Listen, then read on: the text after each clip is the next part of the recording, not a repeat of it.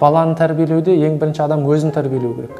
Ә, барлық қоғам болып жұмылып біз ә, барлығымыз дұрыс бағытқа қарай өзімізді реттеуіміз керек. Ғылыми бағытта ә, сыни көзқарас бағытында және өмірімізді жүйелейтін өздеріңіз ұстанамын деп сенетін діндеріңіздің талаптары арқылы біз өзіміздің тәрбиемізді қолға аламыз. Біз баланы өмірге алып келмей тұрып өзімізді тәрбиелеуге кірісетін болсақ ол баланың да тәрбиелеуіне тә- дұрыс бағытта мықты азамат болып елдің қамын ойлайтын патриот болып өсуіне үлкен ықпалын тигізеді.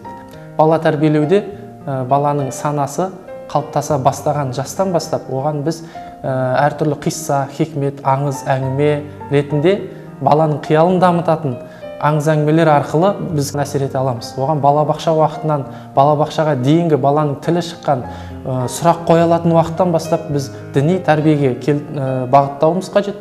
Ә, діннен де бөлек ғылыми тәрбиені біз шетке ысыруымызға болмайды. Дін мен ғылым барлық жерде ә, тұтас жүруі керек. Егер ғылым діннен ажырайтын болса қоғам құлдыр- құлдырауға ұшырайды. Ғылым діннен ажырайтын болса онда да қоғам құлдырауға кетеді. Адамға қатысты барлық болмысты тұтас кешенді түрде алып тәрбиелеуіміз қажет.